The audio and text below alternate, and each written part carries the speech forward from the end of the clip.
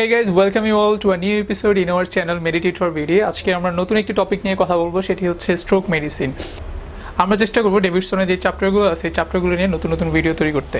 তো আজকে আমরা যেই চ্যাপ্টার নিয়ে কথা বলব ডেভিডসনের chapter twenty six that is a stroke medicine প্রথমেই আমরা ব্রেনের যে ব্লাড সাপ্লাই আছে, এই ব্লাড সাপ্লাই নর্মাল ফিজিওলজিটা একটু বুঝে নেই। নর্মালি ব্রেইন এবং স্পাইনাল ফ্লুইড আমার হচ্ছে ক্রেনিয়ার মধ্যে এনক্লোজ থাকে। তো এই ব্রেইন এবং spinal fluid they are essentially incompressible Monro Kellie doctrine বলেছেন যে because brain tissue and spinal fluid are essentially incompressible the volume of the blood and spinal fluid must be constant at any time ক্রেনিয়ামটা হচ্ছে আমার একটা বনি matter so এটা যেহেতু বনি ম্যাটারের মধ্যে এনক্লোজ থাকে ব্রেন এবং স্পাইনাল ফ্লুইড সো আমার এটাকে কনস্ট্যান্ট রাখতে হবে। ভলিউম অফ দ্য ব্লাড এবং spinal fluid in the cranium inside the cranium must be constant at any time এই জিনিসটাকে কনস্ট্যান্ট রাখার জন্য দ্যাট মিনস এই যে দেখো সবাই, যে সেরিব্রাল ব্লাড ফ্লো কনস্ট্যান্ট রাখার জন্য, এদিকে আমার আর্টেরিয়াল প্রেশার বাড়তেছে ঠিকই বাট ব্লাড ফ্লোটা কনস্ট্যান্ট থাকতেছে। এটা কারণ কি? কারণ যখন আর্টেরিয়াল প্রেশার বাড়ে, তখন আমার যে সেরিব্রাল যে ব্লাড ভেসেলগুলো আছে, এই আর্টারিটা কনস্ট্রিক্ট করবে। কনস্ট্রিক্ট করলে তখন ব্লাড ফ্লো এখানে কম হবে। তার ফলে আমার এখানে ব্লাড ফ্লোটা কনস্ট্যান্ট থাকতেছে। দ্যাট মিনস আর্টেরিয়াল প্রেশারে চেঞ্জ হইলেও আমার সেরিব্রাল ব্লাড ফ্লোর কিন্তু কোনো ধরনের চেঞ্জ হচ্ছে না। আবার যখন আমরা একশো চল্লিশেরও বেশি বাড়াই দিব সিম্প্যাথেটিক স্টিমুলেশন করব, যখন সিম্প্যাথেটিক স্টিমুলেশন হবে কার্ডিয়াক আউটপুট আরও বেড়ে যাবে, যার ফলে মিন আর্টেরিয়াল প্রেশার আরও বাড়বে। কিন্তু মিন আর্টেরিয়াল প্রেশার আরও বাড়লেও দেখো আমার ব্লাড ফ্লো কিন্তু কনস্ট্যান্ট থাকতেছে। এটাই হচ্ছে একটা intrinsic capacity of the cerebral blood vessels to to maintain its blood inside the cranium constant at any time due to any change in the body blood pressure কথা বুঝে গেছে? আর কেন constrict করতে পারে ভেসেলগুলো কারণ ভেসেলের মধ্যে একটা স্মুথ মাসেল থাকে যে স্মুথ মাসেলের একটা ইন্টেন্সিভ ক্যাপাসিটি থাকে, যেটা হচ্ছে সে ভেসেলকে কনস্ট্রিক্ট করতে পারে। এগুলো হচ্ছে সেরিব্রাল অটো রেগুলেশন এটা যদি বুঝে থাকি, আমরা নেক্সট আরেকটা গ্রাফ দেখব। সেই গ্রাফটা দেখলে আমরা আরও সুন্দরভাবে ক্লিয়ার হয়ে যাব। আরেকটা কথা যে, এই অটো রেগুলেশনে যদি কোনো ডিসরাপশন হয় তাহলে আমার সেরিব্রামে ব্লাড ফ্লো কমে যাবে। আর সেরিব্রামে ব্লাড ফ্লো কমে গেলে আমার কি হবে? যে নিউরনগুলো আছে ব্রেইনের সেই নিউরনগুলো নষ্ট হয়ে যাবে ড্যামেজড হয়ে যাবে। যার কারণে আমার ব্রেইন ডিসফাংশন হওয়ার কারণে কিছু ক্লিনিক্যাল ম্যানিফেস্টেশন দেখা দিবে। সেটাকে আমরা বলি হচ্ছে স্ট্রোক ব্রেইন আমাদের বডির একটা ইম্পর্টেন্ট অর্গান আমাদের প্রতিনিয়ত অনেক কিছু চিন্তা করতে হয় রাইট চিন্তা করার জন্য আমাদের কি কি দরকার? এনার্জি দরকার. সো আমাদের চিন্তা করার কাজগুলো কোথায় হয়? আমাদের ব্রেইনে হয়, তাই না? তো ব্রেইনে কিন্তু আমাদের হিউজ এনার্জি দরকার পড়তেছে আমাদের নর্মাল ডে টু ডে যে অ্যাক্টিভিটিসগুলো আছে, এগুলো সম্পূর্ণ করতে. সো এই হিউজ পরিমাণ এনার্জি আমার কিন্তু ব্রেনকে সাপ্লাই দিতে হয় অলওয়েজ এই জন্য এখানে কিন্তু আমার সবসময় একটা কনস্ট্যান্ট এনার্জি প্রোডাকশন কিন্তু আমাকে রাখতেই হবে, ঠিক আছে? একটা হোমিওস্টেসিস মেনটেন আমাকে করতেই হবে ব্রেনের মধ্যে, না হলে কি হবে? আমার যে নর্মাল যে ফাংশনগুলো আছে অ্যাক্টিভিটিসগুলো আছে ডে টু ডে অ্যাক্টিভিটিসগুলো এগুলো কিন্তু আমরা ঠিকমতো করতে পারব না। সো আমাদের ব্রেইনে একটা স্পেশাল ক্যারেক্টারিস্টিক্স হচ্ছে ব্রেনের যে টিস্যুগুলো এগুলো হচ্ছে হাইলি অ্যারোবিক দ্যাট মিনস এই টিস্যুগুলোর মধ্যে অক্সিজেন আছে রাইট হাইলি অ্যারোবিক এখন, ধরো কোনো কারণে ব্রেনে যে ব্লাড সাপ্লাই আছে এই ব্লাড সাপ্লাই অক্লুশন হয়ে গেছে। এখানে ব্লাড ভেসেলের মধ্যে অক্লুশন হয়ে গেছে। তাইলে কি হবে? যে ব্লাড ভেসেল অক্লুশন হইলে আমার ব্লাড ফ্লো কমে যাবে। ব্রেনে ব্লাড ফ্লো কমে যাবে, তা যখন ব্রেনে ব্লাড ফ্লো কমে যাবে, তখন কি হবে? ব্রেনে যদি ব্লাড ফ্লো কমে যায়, তাহলে আমার অক্সিজেন যেটা আছে ব্লাড দিয়ে সাপ্লাই হতো ব্রেনে সেটাও কমে যাবে। তাহলে oxygen supply to the brain will decreased তাহলে যখন অক্সিজেন সাপ্লাই এখানে ডিক্রিজড হবে, তখন ব্রেন কি তার সেই এনার্জি প্রোডাকশনের জন্য অক্সিজেন ইউজ করতে পারবে? পারবে না। সো তখন আমাকে কি করতে হবে? ব্রেনের টিস্যুগুলো যে হাইলি অ্যারোবিক টিস্যু সেখান থেকে অক্সিজেন এক্সট্রাকশন শুরু হয়ে যাবে। এগুলো থেকে তখন অক্সিজেন এক্সট্রাকশন করবে। এবং সেই অক্সিজেন দিয়ে তার মেটাবলিজমটাকে সে কন্টিনিউ করবে। এখন আমার কথা হচ্ছে যে এই অক্সিজেনটা আসলে কেন দরকার? সবার ভিতরে একটা প্রশ্ন থেকে যাচ্ছে রাইট সেই অক্সিজেনটা দরকার হচ্ছে আমার, আমরা জানি যে গ্লাইকোজেনোলাইসিস গ্লাইকো গ্লাইকোজেনকে যদি অক্সিজেনের প্রেসেন্সে ভাঙা হয়, আমরা জানি রেসপিরেশনে পড়ছি, যে থার্টি এইট এটিপি হচ্ছে আমরা গ্লাইকোজেনোলাইসিসের মাধ্যমে মানে রেসপিরেশন প্রসেসের মাধ্যমে আমরা অনেক এটিপি পাই, তাই না? সো এই যে মেটাবলিজম এই মেটাবলিজমের মাধ্যমে আমাদের এটিপি দরকার পড়তেছে এবং এটিপি কিন্তু আমরা জানি যে এখানে আমাদের যে ডিপোলারাইজেশন হয় নিউরনে যে ডিপোলারাইজেশন হচ্ছে, সেই ডিপোলারাইজেশনে সোডিয়াম পটাশিয়াম এটিপি পাম্প সেখানে এটিপি ডিপেন্ডেন্ট একটা পাম্প আছে। সেই জন্য কিন্তু আমার প্রচুর পরিমাণে এটিপি এখানে অলওয়েজ তৈরি করতে হয়। সেই এটিপিটার সোর্সটা হচ্ছে গ্লাইকোজেনোলাইসিস এবং এই মেটাবলিজমের জন্য আমার দরকার পড়তেছে হচ্ছে অক্সিজেন এবং এই অক্সিজেনের কনস্ট্যান্ট সাপ্লাই যদি আমার ব্রেন না থাকে, তাহলে আমার এটিপি তৈরি হবে না। এটিপি না তৈরি হলে তখন ব্রেনের ফাংশনগুলো ডিসরাপশন হবে। এই জন্যই কিন্তু যখন ব্লাড ফ্লো কমে যায়, তখন অক্সিজেন সাপ্লাই কমে যায় ব্রেনে যার জন্য ব্রেন তখন কি করে? তার যে টিস্যুর মধ্যে যে অক্সিজেনগুলো আছে, সেগুলোকে এক্সট্রাক্ট করতে থাকে। অক্সিজেন এক্সট্রাকশন বলতেছি। এবং সেই অক্সিজেন এক্সট্রাকশন দিয়ে তখন সে তার বাকি মেটাবলিজমের কাজগুলো কন্টিনিউ করতে পারে। কিন্তু মনে করো ব্লাড ফ্লো এখন ধরো ছিল হচ্ছে একশো। একশো থেকে ব্লাড ফ্লো হয়ে গেছে পঞ্চাশ। কিন্তু দেখা গেল ব্লাড ফ্লো পঞ্চাশেরও নিচে নেমে গেছে দ্যাট মিনস দশে চলে আসছে, আরও নিচে নেমে গেছে। যখন ব্লাড ফ্লো পঞ্চাশের চেয়ে মানে অর্ধেকের চেয়েও বেশি নিচে নেমে আসবে, তখন আর আসলে অক্সিজেন এক্সট্রাকশন করেও সেটা কম্পেনসেট করা যাবে না, তার মেটাবলিজমকে কম্পেনসেট করা যাবে না। তখন কি হবে? তখন হচ্ছে আমার ব্রেনের ডিস ডিসট্রাকশনগুলো শুরু হবে ব্রেনের ডিসফাংশনগুলো শুরু হবে ব্রেনের নিউরনগুলো ড্যামেজ হয়ে যাবে, তখন ব্রেনের ফাংশনগুলো নষ্ট হয়ে যাবে। তখনই আমরা যেই ম্যানিফেস্টেশনগুলো দেখব ক্লিনিক্যাল ম্যানিফেস্টেশন সেটাকে আমরা বলব হচ্ছে স্ট্রোক ঠিক আছে? সো এখন দেখো, এটা হচ্ছে নর্মাল ফিজিওলজিটা তোমাকে বুঝালাম। এখন আমি যদি গ্রাফে দেখি তাহলে এখন আমরা সবাই এই গ্রাফটার দিকে লক্ষ্য করি। এটা ডেভিডসনের ওয়ান ওয়ান সিক্স থ্রি পেজে সবাই এই গ্রাফটার দিকে লক্ষ্য করো যে, যখন ইনিশিয়ালি ভেসো ডাইলেশন হয়, এটা হচ্ছে সেরিব্রাল ব্লাড ভেসেলের জন্য এই ঘরটা। এখানে মনে করো হচ্ছে ইনিশিয়ালি ব্লাড ভেসেল ডাইলেট করবে। দ্যাট মিনস ভেসো ডাইলেশন তাহলে যখন সেরিব্রাল ব্লাড ভেসেল ডাইলেট করবে তখন আমার কি হবে? যখন ভেসেল ডাইলেট করবে, তখন আমার ব্রেন টিস্যুর যে পারফিউশন প্রেশার আছে, সেই পারফিউশন প্রেশার ডিক্লাইন করবে। তাহলে পারফিউশন প্রেশার ডিক্লাইন করতেছে। তাহলে এর ফলে সুবিধাটা কি হচ্ছে? এর ফলে সুবিধাটা হচ্ছে যে, আমার ব্লাড ফ্লো যেটা আছে ব্লাড ফ্লোটা কনস্ট্যান্ট থাকবে। ঠিক আছে? যেটা আমি সেরিব্রাল অটো রেগুলেশন আমি একটু আগেই পড়ে আসছি, যে হচ্ছে আমার ব্রেনে একটা কনস্ট্যান্ট ব্লাড সাপ্লাই দরকার আছে। একটা কনস্ট্যান্ট হোমিওস্টেসিস মেনটেন করতে হবে। এই হোমিওস্টেসিস মেনটেন করার জন্য যখন ব্লাড ভেসেল ডাইলেট করে, তখন আমার পারফিউশন প্রেশার কমে যায় সো দ্যাট হচ্ছে আমার যে ব্লাড ফ্লো যেটা আছে, তার উপরে মানে প্রেশার বেশি যাতে না পড়ে সো দ্যাট ব্লাড ফ্লোর উপরে চাপ যাতে না পড়ে ব্লাড ফ্লোটা যেন কনস্ট্যান্ট রাখতে পারে, এই জন্যই আমার পারফিউশন প্রেশারটা কমে যায়। তাহলে এখন দেখো যে vasodilated maximum vasodilation যখন হবে দ্যাট মিনস এই জায়গাটা ধরো হচ্ছে ম্যাক্সিমাম ভেসো ডাইলেশন এই ম্যাক্সিমাম ভেসো ডাইলেশন হয়ে আছে সো যখন ম্যাক্সিমাম ভেসো ডাইলেশন হয়ে থাকবে, তখন কি হবে? আমার পারফিউশন প্রেশার আরও বেশি ডিক্লাইন করতে থাকবে। তাহলে পারফিউশন প্রেশার এদিকে ডিক্লাইন করতেছে। ধরলাম পারফিউশন প্রেশার এখানে আসলো ডিক্লাইন করল। তাহলে যখন পারফিউশন প্রেশার ডিক্লাইন করবে, আর এদিকে ভেসেলও ডাইলেট হয়ে আছে, তখন কিন্তু ব্লাড ফ্লো আর কনস্ট্যান্ট রাখতে পারবে না। তখন ব্লাড ফ্লো আস্তে আস্তে কমা শুরু করবে। সবাই দেখো যে blood flow cerebral blood flow তখন আস্তে আস্তে কমতেছে। তাহলে সেরিব্রাল ব্লাড ফ্লো কমতেছে ভেসো ডাইলেট হয়ে আছে ওদিকে পারফিউশন প্রেশারও ডিক্লাইন হচ্ছে।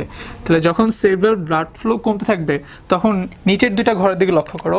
এই ঘরটা হচ্ছে অক্সিজেন এক্সট্রাকশন আমি বলছিলাম যে যখন ব্লাড ফ্লো কমে যায়, তখন ব্রেনে যেহেতু অক্সিজেন দরকার পড়ে সো সে কী করে? তার যে ব্রেন টিস্যুগুলো আছে, সেগুলো হচ্ছে হাইলি অ্যারোবি যার কারণে তার টিস্যুগুলো থেকে অক্সিজেনকে তখন সে এক্সট্রাক্ট করে এক্সট্রাকশন শুরু করে দেয়। এই এক্সট্রাকশন করে সেই অক্সিজেন দিয়ে তার নর্মাল যে মেটাবলিজম আছে, সেটাকে সে কন্টিনিউ করে রাখে। তাহলে যখন নর্মাল ব্লাড ফ্লো কনস্ট্যান্ট ছিল, তখন আমার অক্সিজেন এক্সট্রাকশনের কোনো দরকার ছিল না এবং তখন এই লাইনটা ছিল এরকম সোজা। দ্যাট মিনস আমার অক্সিজেন এক্সট্রাকশন তখন হচ্ছিল না। এবং যখন ব্লাড ফ্লো ঠিক ছিল, তখন কিন্তু আমার মেটাবলিজমও নর্মাল ছিল। কোনো মেটাবলিজমও কোনো প্রবলেম ছিল না। কিন্তু যখনই ব্লাড ফ্লো কমা শুরু করছে, তখন আমার অক্সিজেন একটা ঘাটতি দেখা দিচ্ছে ব্রেনের মধ্যে, যার কারণে তখন টিস্যু থেকে অক্সিজেন এক্সট্রাকশন শুরু হয়ে যাবে। দ্যাট মিনস এই ঘরে যে লাইনটা আছে, এই যে অক্সিজেন এক্সট্রাকশনের যে লাইনটা, এই লাইনটা তখন উপর দিকে উঠে যাবে। এই যে। তো দেখো, এখন অক্সিজেন এক্সট্রাকশন শুরু হয়ে গেছে। তাহলে এই অক্সিজেন এক্সট্রাকশন হওয়ার ফলে যে অক্সিজেনগুলো আমার ব্রেনে এবার ইউজ হবে, সেগুলো হচ্ছে এই অক্সিজেন এক্সট্রাকশনের মাধ্যমে মানে টিস্যুর ভিতর থেকে যে অক্সিজেনগুলো নিয়ে আসছি, এগুলো দিয়ে হচ্ছে আমার মেটাবলিজমকে কন্টিনিউ করব। দ্যাট মিনস আমার মেটাবলিজমে কোনো চেঞ্জ হচ্ছে না মেটাবলিজম এখানেও ঠিক থাকতেছে, ঠিক আছে? এখন দেখো ফার্দার পারফিউশন প্রেশার যদি আরও বেশি ডিক্লাইন করে পারফিউশন প্রেশার ধরো আরও ডিক্লাইন করতেছে, তখন কি হবে?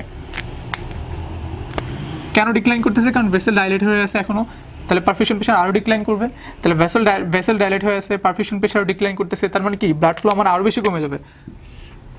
তাহলে ব্লাড ফ্লো আরও কমে যাচ্ছে। তাহলে ব্লাড ফ্লো আরও যখন কমে যাবে, তখন কিন্তু আর অক্সিজেন এক্সট্রাকশন করে যেই তুমি কম্পেনসেশনটা একটু আগে করছিলে ব্রেনের ফাংশনগুলো বা মেটাবলিজমটাকে কন্টিনিউ করছিলে অক্সিজেন এক্সট্রাকশন করে, সেই কম্পেনসেটরি মেকানিজমটা কিন্তু এখন ফল করবে ফেল করবে। তো অক্সিজেন এক্সট্রাকশন তখন কিন্তু আর সম্ভব হবে না। তখন যেটা হবে যে, তখন অক্সিজেন এক্সট্রাকশনও কমে যাওয়া শুরু করবে। তাহলে এই এই ঘরটা দেখো সবাই, এই অংশটুকু দেখো। এই অংশটুকুর মধ্যে যেটা আমি বলতে চাচ্ছি যে এখানে কি হচ্ছে? ব্লাড ফ্লো কমে যাচ্ছে এবং পারফিউশন প্রেশারও কমে যাচ্ছে। অক্সিজেন এক্সট্রাকশনের মাধ্যমে কম্পেনসেটরি মেকানিজমও ফিল করছে। তার ফলে এই জায়গাটুকু তো আমার মেইনলি কি হবে? ফোকাল ইস্কেমিয়ার যে এই সিমটমসগুলো আছে সেগুলো দেখা দিবে। দ্যাট মিনস এই অংশটুকুর ভিতরে আমি সিমটমস দেখা দিবে। ঠিক আছে? তখন এই সময়ের ভিতরে যদি কেউ যেই কারণে ব্লাড ফ্লো কম আসতেছে, কেন ব্লাড ফ্লো কম আসতেছে? কোনো একটা অক্লুশন আছে হয়তো বা ভেসেলের ভিতরে। এই অক্লুশনটা যদি আমি সরাই দিতে পারি, তাহলে কি হবে? আবার blood flow to the brain tissue will become normal so যখন blood flow to the brain tissue will become normal তখন কিন্তু সে আবার আগের পজিশনে চলে আসবে। দ্যাট মিনস সিমটমস থেকে সে রিলিফ পাবে। যেটা আমরা ট্রানজিয়েন্ট ইস্টেমিক অ্যাটাকে দেখি, যে হচ্ছে টোয়েন্টি ফোর আওয়ার্সের ভিতরে সে আবার স্পন্টেনিয়াসলি ভালো হয়ে যায়। সো এই সিমটমসের এই জায়গায় থাকা অবস্থায় তাকে যদি আমি ক্লটটা রিট্র্যাক্ট করে দিতে পারি ক্লটটাকে সরিয়ে দিতে পারি, তাহলে কি হবে? ব্লাড ফ্লোটা নর্মাল হয়ে যাবে এবং যার ফলে তার সিমটমসগুলো রিলিভ হবে। কিন্তু ব্লাড ফ্লো যদি আরও কমতে থাকে, কোনো কারণে মনে করো অক্লুশন তুমি সরাতে পারো না তাহলে কি হবে? ব্লাড ফ্লো আরও কমতে থাকবে। তাহলে ব্লাড ফ্লো যখন আরও কমতে থাকে পারফিউশন প্রেশারও আরও কমতে থাকে, এদিকে ভেসেলও ডাইলেট হয়ে আসে তখন কি হবে? যে মেটাবলিজম এতক্ষণ যেটা করতে পারছিল এখন তো মেটাবলিজম কোনোভাবেই পসিবল না এবং আস্তে আস্তে যখন মেটাবলিজম না হবে এটিপি প্রোডাকশন হবে না, তখন কি হবে? যে ব্রেনের ফাংশনগুলো তখন ডিসরাপশন হয়ে যাবে, তখন যে সাইনগুলো আসবে সেটা হচ্ছে ইনফাকশনের সাইন ইনফাকশন দ্যাট মিনস একটা জায়গায়, ধরো এটা হচ্ছে টিস্যু এই টিস্যুতে আমি নর্মালি ব্লাড সাপ্লাই দিতাম। এখন এখানে একটা অক্লুশন হয়ে যাওয়ার কারণে এই টিস্যুতে আর কোনো ব্লাড সাপ্লাই যাচ্ছে না। তার ফলে এই টিস্যুটা ব্লাডের অভাবে কী হবে? আস্তে আস্তে পচে যাবে রাইট ইনফ্রাকশন হয়ে যাবে ইনফ্রাক্টেড হয়ে যাবে ইনফ্রাক্টেড এবং আমরা জানি ব্রেনের ইনফেকশনকে বলা হয় লিকুইফেক্টিভ নেক্রোসিস নেক্রোসিস হয়ে যায়। নেক্রোসিস মানে কি? সেল ডেথ সেল ডেথ হয়ে যায়। এখন এই সেল ডেথ কীভাবে হয় সেটা নিয়ে আমি আরেকটু পরে তোমাকে আরেকটা ছবি দেখাবো। তাহলে এই জিনিসটা হচ্ছে normal homeostatic response to falling perfusion pressure ঠিক আছে? এটা বুঝে থাকলে এখন আমরা নেক্সট কীভাবে সেল ডেথ হচ্ছে ব্লাড না যাওয়ার কারণে সেটা দেখব। তাইলে ব্রেনে অক্সিজেন সাপ্লাই কমে গেলে আমরা অ্যানারোবিক গ্লাইকোলাইসিস হচ্ছে অ্যানারোবিক গ্লাইকোলাইসিস হলে আমরা জানি যে হচ্ছে ল্যাকটিক অ্যাসিড প্রোডাকশন হয় ল্যাকটিক অ্যাসিড প্রোডাকশনের কারণে এইচ প্লাস বেড়ে যাবে এবং এটিপি কমে যাবে। তাহলে এটিপি কমে গেলে ব্রেনে কী সমস্যা হবে সেটা দেখি। যে এটা হচ্ছে মনে করো ব্রেনের একটা নিউরন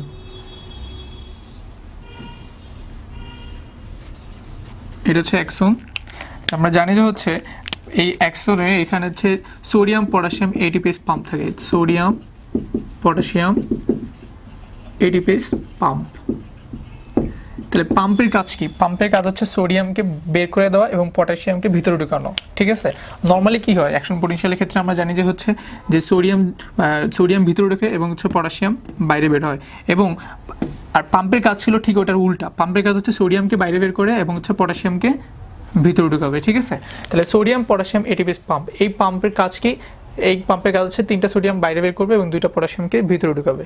তাহলে এই পাম্পে আমরা জানি যে একটা কনস্ট্যান্ট এটিপি সাপ্লাই দরকার পড়তেছে। যেহেতু এটিপি এখানে কমে যাচ্ছে অ্যানোরবিক গ্লাইকোলাইসিসের কারণে সো এই পাম্পটা তখন কাজ করবে না। পাম্পটা না কাজ করলে তখন কি হবে? তখন সোডিয়াম উল্টা হবে। সোডিয়াম এন্ট্রি হবে এবং পটাশিয়াম বাইরে বের হয়ে যাবে। যখন সোডিয়াম এন্ট্রি হবে সোডিয়ামের সাথে সাথে কি হবে? ওয়াটারও এন্ট্রি হবে। ওয়াটার এন্ট্রি হবে ইনসাইড দ্য সেল তাহলে দেখো সেলের মধ্যে সোডিয়াম ঢুকতেছে দেন ওয়াটার ঢুকতেছে, যার ফলে এই নিউরনের সেলগুলো ফুলে যাবে। দ্যাট মিনস আমরা এটাকে বলি সাইটোটক্সিক ইরিমা সাইটোটক্সিক ইডিমা তাহলে এটাও কিন্তু একটা খারাপ জিনিস রাইট যে সোডিয়াম ওয়াটার সেলের মধ্যে বেশি ঢুকতেছে, তখন সাইটোটক্সিক ইডিমা হচ্ছে। কেন হচ্ছে? এই সোডিয়াম পটাশিয়াম এটিপি যে পাম্প আছে, এই পাম্প ফেইলর হচ্ছে। কেন ফেল হচ্ছে? এটিপি কম প্রোডাকশন হচ্ছে এটিপি পাচ্ছে না, যার কারণে এটা, এই পাম্প ফেল করার কারণে সাইটোটক্সিক ইডিমা হচ্ছে। এখন দেখো, যখন এই সোডিয়াম ভিতরে ঢুকে তখন আমরা যে জিনিসটা হয়, এই জিনিসটাকে বলি হচ্ছে ডিপোলারাইজেশন রাইট তাহলে আমরা জানি একটা নিউরনে যখন ডিপোলারাইজেশন হয়, তখন কি হবে? তখন তার এক্সাইটেডরি যার যে নিউরো ট্রান্সমিটার আসে, সেই নিউরো ট্রান্সমিটারগুলো রিলিজ হওয়া শুরু হবে। তাহলে এইখানে মনে করো হচ্ছে গ্লুটামেট যেটা হচ্ছে তোমার নিউরনের মধ্যে ছিল গ্লুটামেট গ্লুটামেটগুলো তখন রিলিজ হবে। তাহলে গ্লুটামেট গ্লুটামেটগুলো হচ্ছে এক্সাইটেটরি নিউরো ট্রান্সমিটার গ্লুটামেট কি? এক্সাইটেটরি নিউরো ট্রান্সমিটার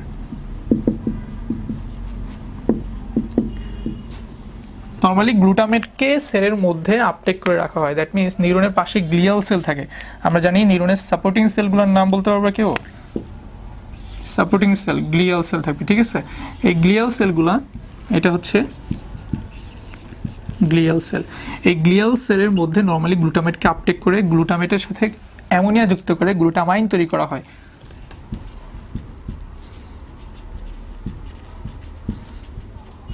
তাহলে গ্লুটামেটকে ঢুকিয়ে গ্লিয়াল সেলের মধ্যে গ্লুটামাইন তৈরি করা হয়। কিন্তু যখন আমার অ্যানোরবিক গ্লাইকোলাইসিসের কারণে অ্যাটিপি প্রোডাকশন কমে যাবে, তখন এখানে ডিপোলারেশন হবে। ডিপোলারেশন হওয়ার কারণে তখন গ্লুটামেটগুলো বের হয়ে আসবে।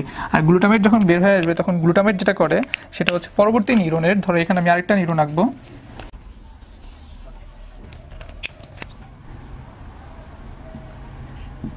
গ্লুটামেট কি করবে?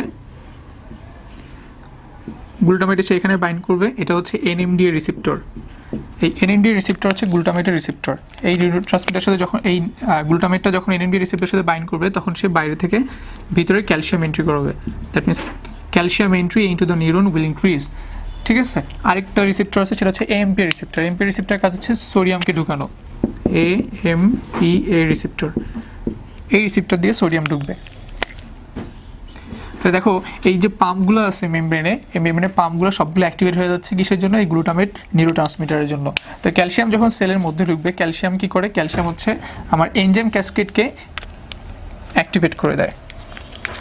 তাহলে এই ক্যালসিয়াম কি করবে? এই ক্যালসিয়াম হচ্ছে লিপিড পারক্সিডেজ দেন প্রোটিয়েজ ঠিক আছে? লিপিড পারক্সিডেজ প্রোটিয়েজ এগুলোকে অ্যাক্টিভেট করে দিবে। এই এনজাইমগুলোর কাজ কি? লিপিড পারক্সিডেজ যেটা করবে লিপিড আমরা জানি সেল মেমব্রেন লিপিড থাকে, তাহলে মেমব্রেনকে ধরো এটা হচ্ছে একটা মাইটোকন্ড্রিয়া তাহলে মাইটোকন্ড্রিয়া এই যে মেমব্রেনটা লিপিড পারক্সিডেজ কী করবে? এই মেমব্রেনটাকে নষ্ট করে দিবে। তখন মেমব্রেনটা এরকম পারফোরেটেড হয়ে যাবে। তখন ভিতরে মাইটোকন্ড্রিয়ার মধ্যে যে সকল অ্যাপোপ্টোটিক বডি আছে, সেই অ্যাপোপ্টোটিক বডিগুলো বাইরে বের হয়ে যাবে এবং সেল ডেথ করবে।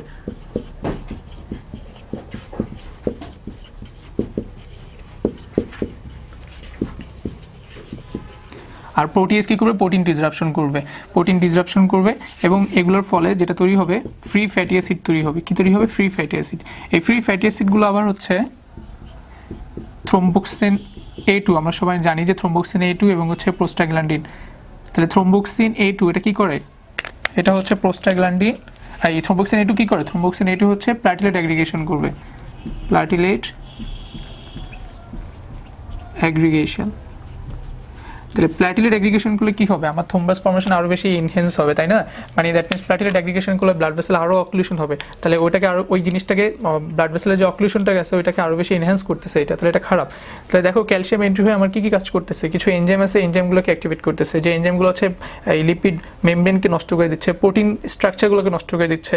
দ্যাট মিনস এখানে অ্যাপোপ্টোটিক বডিস রিলিজ হয়ে তখন হচ্ছে সেল ডেথ হবে।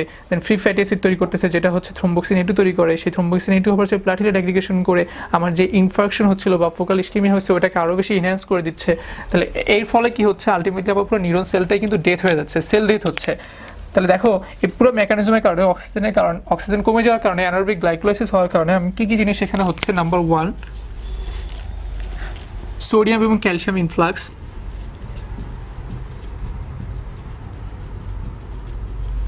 then sodium potassium pump inactivate ঠিক আছে?